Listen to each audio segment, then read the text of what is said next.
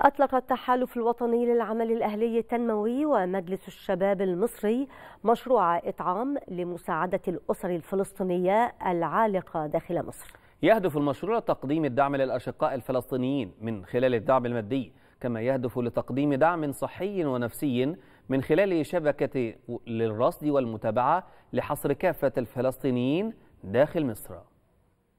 جهود متواصلة تقوم بها الدولة المصرية نصرة ودعما للأشقاء الفلسطينيين سواء خارج أراضيها أو داخلها. ومن ضمن هذه الجهود يأتي مشروع إطعام وهو مشروع مساعدة الأسر الفلسطينية العالقة داخل مصر. إحنا النهارده موجودين لتنفيذ برنامج مساعدة الأسر الفلسطينية أو فيما يتعلق بمشروع إطعام بنجهز حوالي ما يقرب من 2000 كرتونة من المواد الغذائية.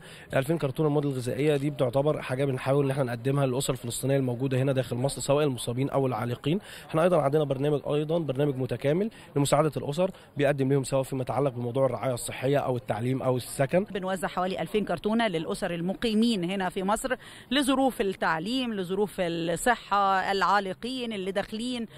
كل الكلام ده المفروض إن إحنا موفرين له زي ما أنتم شايفين كده مواد تموينية وملابس وحاجات ليها علاقة بالأدوية وحاجات ليها علاقة بالبطاطين. المشروع يعتبر مشروعا تنمويا خدميا يهدف أيضا إلى تقديم الدعم الصحي والنفسي من خلال شبكة رصد ومتابعة لحصر كافة الفلسطينيين داخل مصر. ومن ثم معرفة كافة احتياجات ومتطلبات كل أسرة.